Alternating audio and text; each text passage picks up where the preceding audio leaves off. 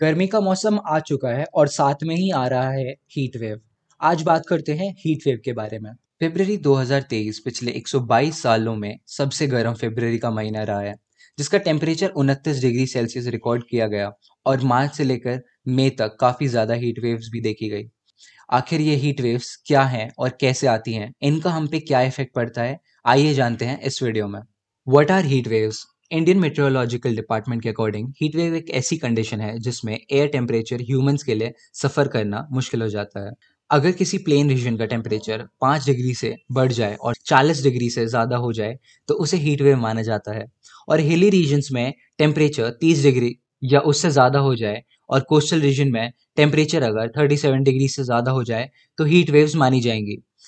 India में heat waves mainly मार्च से जून तक रहती हैं।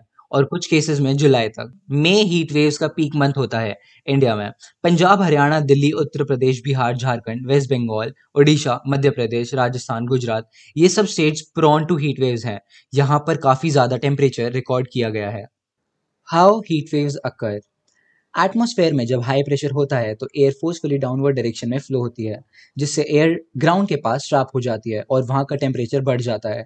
ग्राउंड का प्रेशर इतना बढ़ जाता है कि कोई दूसरी वेदर सिस्टम उस एरिया में मूव ही नहीं कर पाता, जिसके कारण हीट वेव्स कुछ दिनों तक एक एरिया में रहते हैं। हाई प्रेशर के कारण ही हवा नहीं चल पाती और हाई प्रेशर बादल को प्रिवेंट करता है रीजन में एंटर करने से, जिसके कारण एरिया में सनलाइट ज़्यादा रहती है और रीजन का टेम्परेचर बढ़ जाता है। अब बात करते हैं हीट वेव के इफेक्ट्स के बारे में। पहला है मोर्टालिटी रेट जब हमें गर्मी लगती है तो हमारी बॉडी खुद को कूल डाउन कर लेती है स्वेटिंग के प्रोसेस से। लेकिन हाई ह्यूमिडिटी में बॉडी का स्वेट जल्दी से इवेपोरेट नहीं होता, जिससे हीट स्ट्रोक के चांसेस बढ़ जाते हैं।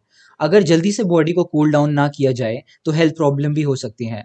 ये उनके लिए प्रॉब्लम है जो खुद को कूल डाउन करने का सोल्यूशन नहीं ले सकते specially low income group people India ने 2015 में लगभग 2422 जिंदगियाँ खो दी हीट वेव के कारण।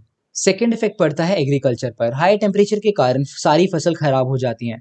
हीटवेव की वजह से काफ़ी जगहों पर फ़सल को पानी देने के लिए भी कमी देखी गई है। किसान भारी मेहनत से अपनी फ़सल उगाता है। काफ़ी बार किसान लोन भी लेते हैं। ऐसे में उनकी फ़सल खराब हो जाए तो उन्हें काफ़ी नुकसान उठाना पड़ता है।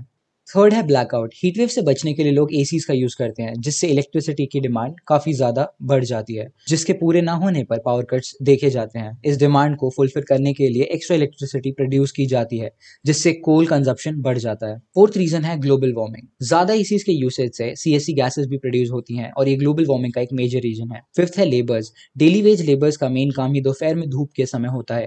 हीटवेव के टाइम उनकी प्रोडक्टिविटी काफ़ी घट जाती है। इनकी तबियत भी खराब हो जाती है। अब बात करते हैं कुछ सिम्टम्स ऑफ़ हीट वेव्स के बारे में। Fainting muscle cramps irritability headache weakness dizziness increased sweating acts और टॉक कंफ्यूज नोजिया और वॉमिटिंग हाइपोथर्मिया डायरिया ये सब हीट वेव्स के सिम्टम्स हैं। Precautions from heat waves hydrate yourself move to cooler place and take rest take cool चार and cover yourself आप कोशिश कीजिए कि आप दोपहर में 12 से 4 के बीच में घर से ना ही निकलें।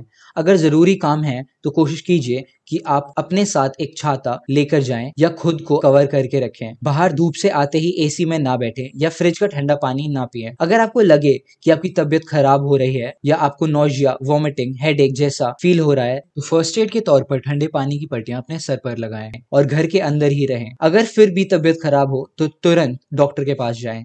ये स्टेप्स लेकर आप खुद को और इन्वायरमेंट को भी सेव कर सकते हैं। पहला, अपने घरों में मिट्टी का मटका ज़रूर रखें और कोशिश करें कि फ्रिज का पानी कम से कम पिए। दूसरा, अपने घरों में एक छोटे बर्तन में चिड़िया या कौए के लिए पानी ज़रूर रखें। तीसरा, आप जितना हो सके कूलर और फैंस का यूज़ करें और एसी को कम से कम यूज़ करें। इससे आपका इलेक्ट्रिसिटी बिल तो कम आएगा ही और साथ में एनवायरमेंट और हेल्थ भी अच्छी रहेगी।